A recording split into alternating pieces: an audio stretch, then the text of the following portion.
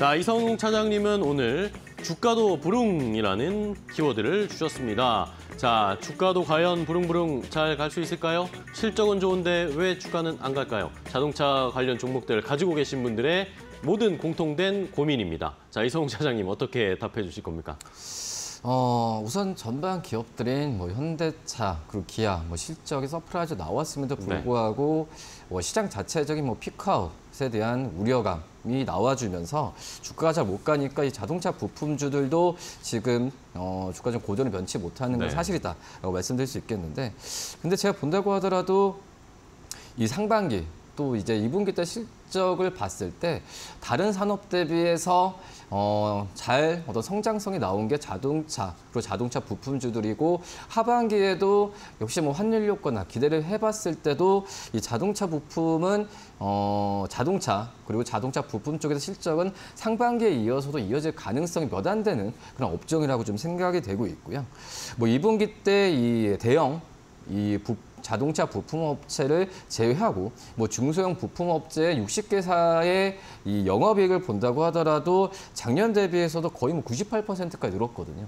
역시 현대차 그룹들의 이 매출액과 영업이 느는 부분을 그대로 자동차 부품주들도 따라가고 있는 모습을 지금 나타내주고 있는 현재 상황이고요. 특히 대형 부품 사들 대비해서 이 중소형 부품주들한테 오히려 더 관심이 좀 가는 부분이 같은 어떤 실적이 증가한다는 증가를 한다고 하더라도 지금 약간의 이 어떤 수급적인 면이 이 대형 부품주들이 이 IT 쪽으로의 유동성을 좀 많이 뺏긴 모습이 나타나주고 있어서 오히려 그 틈새를 이 중소형 부품 업체들한테 좀 올 가능성이 있다고 판단되고 있습니다. 뭐 그렇기 때문에 자동차 부품주들 안에서도 이 중소형 부품사들한테 관심을 가져야 되는 게 맞다라고 지금 생각이 좀 되고 있고요. 역시 이 중소형 부품주들 지금 뭐 실적에 대한 부분을 견인했던 부분은 어, 이제 내연기관 같은 이 전통차라고 볼 수 있겠지만 네.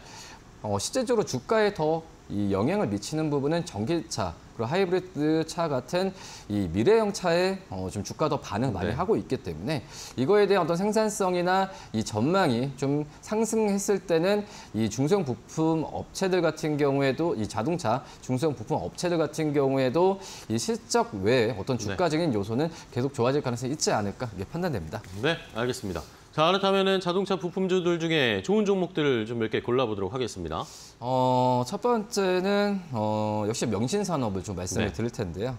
2분기 영업에 본다고 하더라도 작년 대비해서도 260% 이상 늘어난 수치를 보여주었는데 중요한 게 이제 260%의 큰 어떤 실적 성장세보다도 영업이익률이 많이 늘었죠. 거의 16% 가까이 두 자릿수 15%까지 늘었는데 그만큼 그 전에 작년까지를 본다했을 때도 10%한 자릿수의 영업이익률이 이제는 이제 2분기 2분기 때 봤을 때도 이 두 자릿수가 아니라 15% 16% 이상의 지금 영업이익률 기록해야 하는 걸 봤을 때 이 명신 산업에 대한 음, 관심은 어, 마진 부분으로 봤을 때도 음, 계속 지속돼야 되지 않을까라고 좀 생각이 되고 있고 네.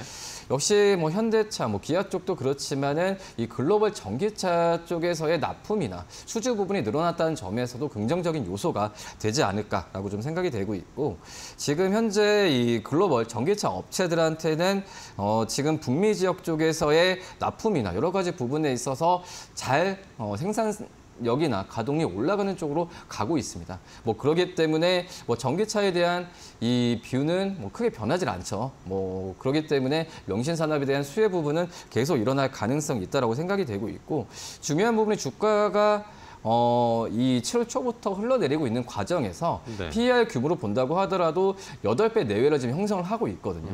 PER 8배 내외라고 한다면은 어, 극히 어떤 저평가 구간이기 때문에 매수 관점을 좀 말씀을 드리도록 하겠고 네. 그리고 이제 두 번째 말씀을 드릴 종목은 바로 이제 SL이라는 종목입니다. 음. 이 헤드램프 만드는 기업이라 볼 수 있겠는데 2분기 영업이익도 어, 좋았죠. 작년 대비해서 70% 이상 늘어난 모습을 좀 보여주었는데 뭐 그런 점에서 본다고 하면은 이 SL 역시 현대차 쪽에서의 이 수주 부분도 중요하지만 이 어떤 GM을 비롯한 글로벌사들도 이 생산 반등이 나와주고 그리고 어, 미래 어떤 환경 미래 차에 대한 이 헤드램프에 대한 수요 부분은 계속 늘어날 가능성이 크기 때문에 이 SL 뭐 2분기 실적뿐만 아니라 하반기 실적도 기대해봐도 음, 괜찮지 않을까라고 좀 생각이 되고 있고요. 또 헤드램프가 많이 필요하는 SUV 쪽에서의 현대차 그룹의 이 포트에 대한 비중이 좀 커가고 있는 상황이기 때문에 SL에 대한 전망은 계속 좋게 바라봐도 나쁘지 않다라고 좀 판단되고 있고요. 지금 현재 5.6%까지 늘어나는 부분이 그 거래량과 함께 어, 이 상승률이 나와주고 있는 상황에서 지금 현재 구간에서도 저는 매수 관점을 가져가도 나쁘지 않다라고 좀 생각됩니다. 알겠습니다. 자, 이렇게 SL과 명신산업 자동차 부품주들 중에 또 볼만한 좋은 종목들을 골라봤습니다. 자, 그럼 주가도 부릉부릉 잘 갈 수 있을지 자동차 부품주에 대해서 이 키워드 저희가 인서희 고분께도 함께 공유를 해드렸는데 고모님께서는 자동차 쪽 어떤 종목 보시나요? 제가 선택한 종목은 현대공업입니다. 현대공업? 예, 현대공업. 어제 대량 거래 터졌어요. 평균 거래량의 10배에서 20배까지 급등을 했는데 뭐 최근에 한번 거래 붙으면은 기존 평균 거래량은 아무 의미 없어요. 그냥 막 아, 붙어버리는 거니까 그냥 의 미는 없는데 일단은 거래가 터지니까 시야에 또 들어옵니다. 네. 오늘도 거래가 터졌어요. 어제 거래 터지면서 윗골이 양봉 길게 달았고 오늘은 윗골이 음봉 달았어요. 모양새 안 좋은 거거든 윗골이. 근데 바닥에서 윗꼬리 달릴 때는 올라갔다가 차익 매물 소화한다 이렇게 판단하신 게 더 맞겠다. 에너지가 집중된다라고 생각하면 어떨까 생각이 되는데 이 회사 주로 개인들이 지금 매매를 하고 있어요. 당연하겠죠. 아, 자동차 시트, armrest, 내장재를 만드는 회사예요. 내연기관이었고 자동 전기차로 옮기다 보니까 가장 중요한 게 경량화, 그 다음에 고급화 이런 쪽인 것 같아요. 이런 쪽에서 시트의 고급화라는 측면에서 이 회사가 강점을 갖고 있다. 발포 기술이라는 가- 기술을 갖고 있거든요. 그래서 네. 그런 쪽에 주로 현대차에 납품하는데 좀 다양할 필요는 있을 것 같다 생각이 되는데 중요한 거는 이 회사가 시트를 만드는 전문 회사가 2차 전지 실리콘 응급제를 한다는 거예요. 이게 무슨 말이지? 시트하다 응급제 가능한가? 이 회사가 어, 그 2021년에 미국 회사 암프리우 Amprius라는 회사에 지분 투자를 합니다. 140만 불인데 크진 않아요. 근데 하여튼 지분 투자를 하는데 그 Amprius라는 회사가 nano wire 기술이 적용된 실리콘 음극재를 한다는 거예요. 실리콘 음극재가 뭔가요? 기존의 음극재는 흑연으로 만들어요. 근데 흑연을 실리콘으로 대체한다는데 그럼 대체하면 좋은가요? 좋으니까 대체할 텐데 실리콘으로 대체하면 뭐가 좋으냐? 첫째는 배터리 밀도를 높일 수가 있답니다. 밀도가 높아지면 어떻게 됩니까? 오래 갈 수 있어요. 지금 오래 가는 건 문제잖아요. 그다음에 충전 시간을 단축시킬 수 있다 그럽니다.